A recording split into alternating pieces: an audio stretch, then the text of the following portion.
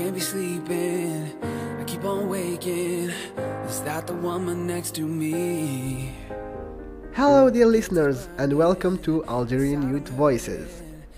I am Mourad from Algiers, and today I have brought to you a topic that may interest many of you since we received some messages and emails asking us to talk about studying abroad. Blame it on the night. Don't blame it on But what is the best solution to make that happen when we cannot afford it? Well, I have a secret for you. It's called scholarship.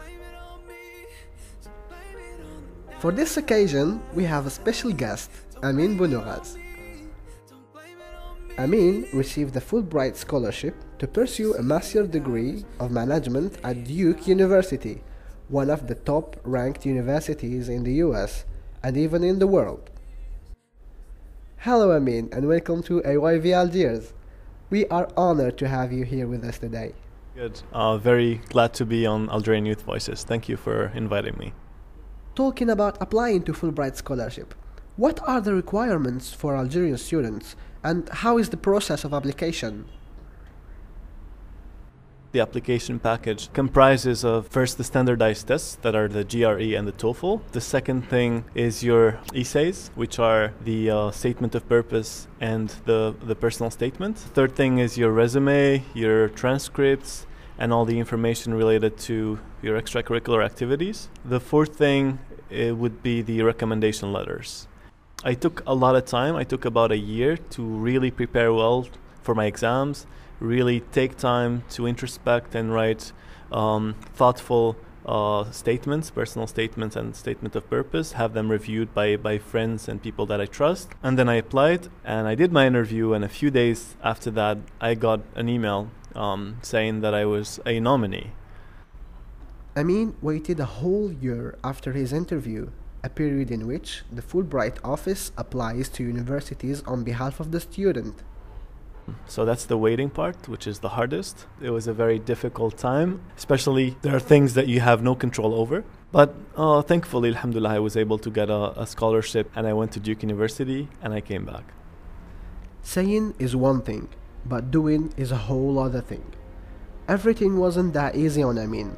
He faced many difficulties during his application process and even when he arrived in the United States. Um, so struggles during the application process, definitely, because when you're applying to schools from Algeria, you don't really have a lot of support. Because honestly, I didn't know a lot of people who went to study in the United States, and the people who do not really share their experience. Uh, So you don't really find someone to talk to that has been there. The good thing is, I had already been to the United States twice, once on an exchange program and once after winning uh, a competition. So I didn't really have the cultural shock.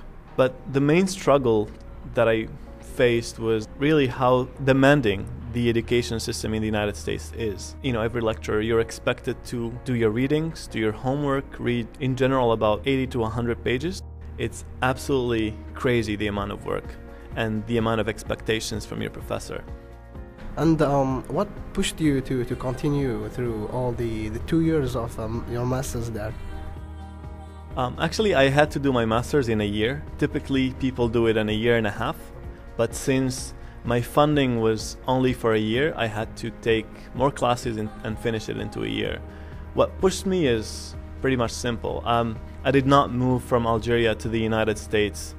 I did not cross all that distance, and I, I was not away from my family just to, you know, be a tourist. If I went there, I wanted to, to get everything. So I was I was pretty much determined to make the most out of my experience because I know I was in a, a very lucky spot. I know that a lot of people apply to scholarships to go to the United States and they don't get them. So I knew that I was very fortunate and I knew that this was one experience that could change my life. And that that one year of my, of my life could completely change the course of it. After completing his education, Amine returned to Algeria and he is trying to share as much as he can from his experience with the others. What pieces of advice can you give to uh, the listeners who want to travel abroad and study there? I actually did write a very long post on Facebook and on LinkedIn de- detailing all the application process. So I would advise you to go check it out. Start really early, at least two years, you know, one to two years before your intended date of application. Because uh, the better grades you get in these standardized uh, exams and the better essays you have, the better chances you have. You don't want to go to the United States and do a, you know, a top 300 school. You want to go to the United States and do things like Harvard, Yale, MIT. Shoot for the big ones. Shoot, shoot for being on the top 10, on the top 25, because that's completely possible. But you just gotta, you know, be very prepared, know what, what is expected of you, and work really hard to meet that uh, these expectations. Ask for help. Reach out to people who have been there. Uh, be annoying. uh, in, in asking for advice because I believe it's the responsibility of everyone who has been through the program to help you and guide you um, to the uh, right direction. Um, and my last piece of advice would be enjoy the process. After completing his master's degree, Amine graduated with honors from Duke University. He was also chosen to be the shining star of the program a distinction that allowed him to be designated to deliver the graduation speech, an honor that is quite special, which made his year a total success.